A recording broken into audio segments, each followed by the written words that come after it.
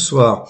Sur fond de bruit de botte en Ukraine, le CAC 40 clôture à 6929,23 en baisse de 0,25% en clôture ce vendredi. Depuis le 1er janvier, le CAC 40 enregistre une baisse de 2,88%. Et cela dans un marché très volatile et un indicateur WIX, l'indicateur de la peur, euh, affiché à 28,11. Dans ce contexte, en plus d'une reprise économique, le Brent s'est adjugé, euh, lui, dans le même temps, 20% depuis le début de l'année.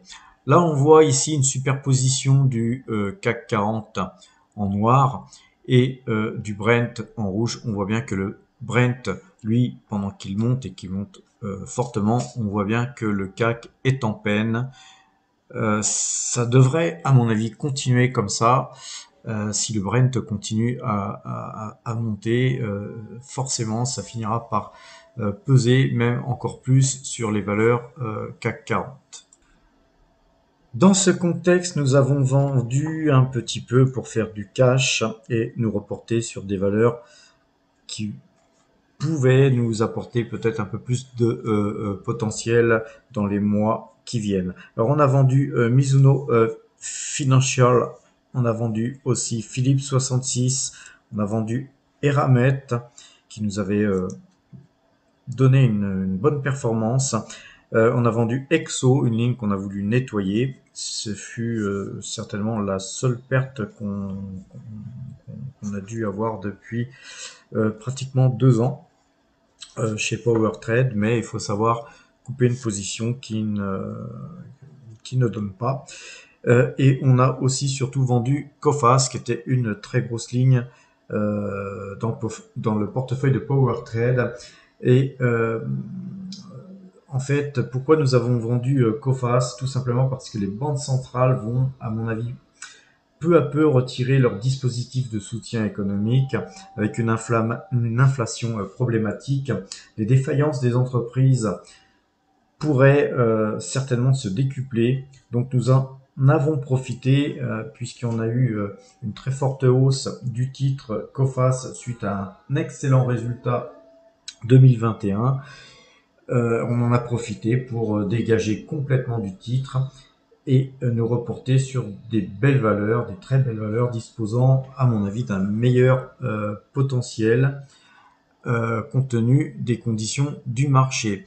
Alors, on reste toujours sur Total avec environ 50% de notre portefeuille actions toujours investi sur Total. AXA aujourd'hui représente 6% de euh, nos, euh, euh, nos actifs. Shell Midstream Partner 5,34%, Orange 5% et Taiwan Semiconductor 4,37%. C'était vraiment les, les valeurs de base. à cela, on a retiré COFAS. Alors, qu'a-t-on fait avec cet argent ainsi dégagé? On a euh, investi sur Bouygues, donc on est monté en, puissance sur Bouygues. On affiche pratiquement 3% de nos, de nos actifs euh, sur Bouygues. On est monté en puissance sur, sur Oréal. Euh, et on est à donc à 2,74% sur Oréal. On est monté aussi en puissance sur BNP et sur Veolia. Mais pas seulement, puisque nous avons sur des valeurs qui représentent beaucoup moins d'importance dans, nos actifs. Nous avons aussi euh, un petit peu euh, augmenté notre euh, position sur Coca-Cola qui va augmenter son dividende de 5%, dividende trimestriel qui était de 42 cents et qui passera à 44 cents. Et donc sur l'année, ça nous fait un passage de 1,68$ à 1,76$. Ce dividende d'ailleurs sera payable au 1er avril. On a aussi euh, augmenté notre position sur Ternium puisque Ternium euh, a euh, subi une forte baisse suite à un, résultat moins bon qu'attendu. On a légèrement augmenté aussi sur Pfizer, sur Schneider et sur Soitec. Revenons brièvement sur le CAC 40. Alors, on va voir le CAC 40 avec une analyse Ichimoku et euh, on, voit que effectivement les cours, là, l'ensemble de ces cours euh, sont en dessous du Kumo. Donc on a bien une tendance euh, baissière qui s'est installée puisque ces trois bougies là n'ont pas permis de, pénétrer dans le, le, Kumo puisqu'on a euh, a tenté une incursion ici euh, mais en vain et ensuite on a une figure qui s'apparente un petit peu à une figure des trois soldats et les trois soldats avec des trois soldats rouges comme on le voit là c'est pas de bonne augure en théorie. Sachant qu'on a un trend ici on a un trend baissier.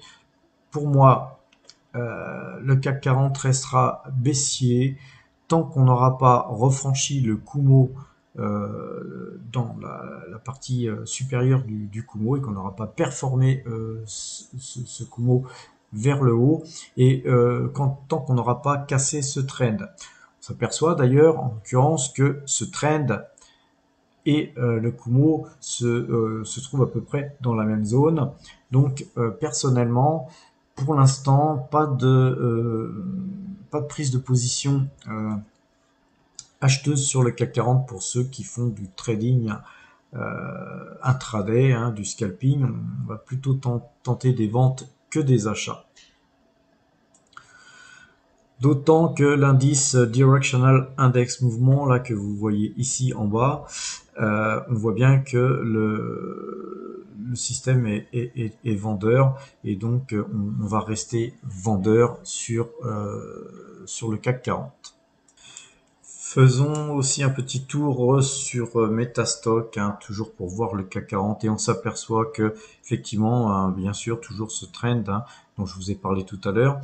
Mais pour la séance de lundi, le, le, point ici que vous voyez là, c'est en fait le point Directional Index Mouvement qui se situe à 7004. Donc si euh, le CAC 40 euh, cotait 7004 lundi, euh, eh bien écoutez, le système repasserait acheteur et moi je serais donc euh, euh, de ce fait positif sur, sur le trading CAC 40 en tant qu'acheteur et ne ferait que des achats. Donc c'est un point important, un 7004, ne l'oubliez pas.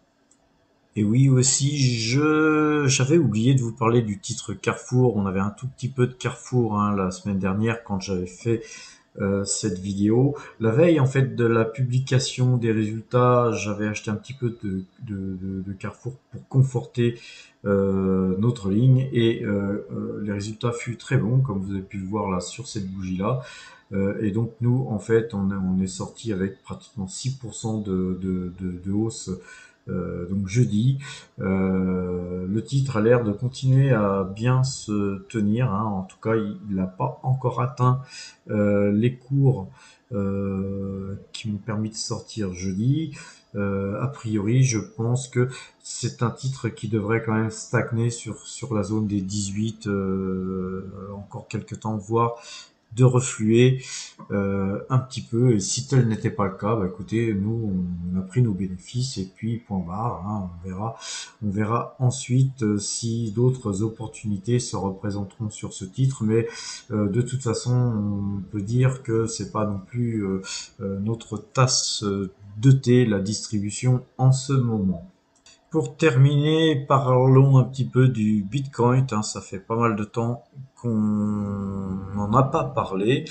Euh, et donc les cours du Bitcoin qui, euh, qui stagnent sur, euh, sur les 40 000, 40 108 dollars. Euh, quoi dire sur le Bitcoin? Là, on avait un trend euh, là que je vous ai tracé. Euh, on pourrait même dire un canal. Hein, je vous ai tracé le trend, mais on a un canal baissier ici. On voit qu'on est sorti de ce canal, mais avec on a passé les 36 000 en fait, hein, qui, qui était un, point un point assez assez important. Et puis euh, là, on, a tendance à végéter après avoir euh, été sur les 44, 45 000. On a tendance à rebaisser, donc à suivre. Moi perso, je vois pas de signaux d'achat très forts sur le Bitcoin, bien qu'il y a quand même une petite impulsion sympa. On va regarder, on va, on va dézoomer un petit peu.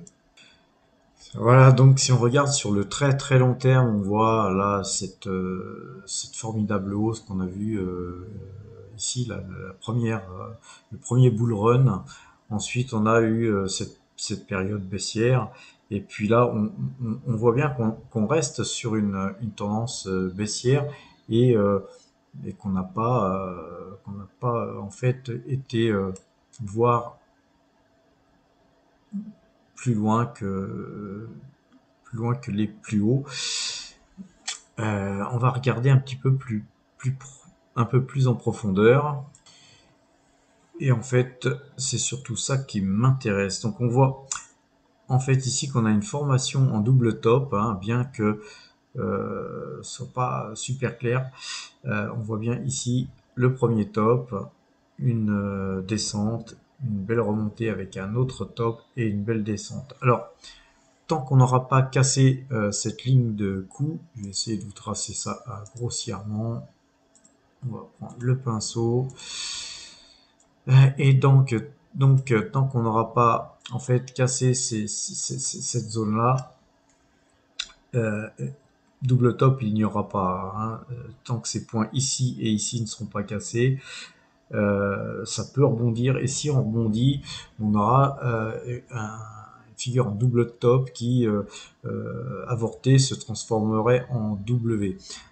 Mais avant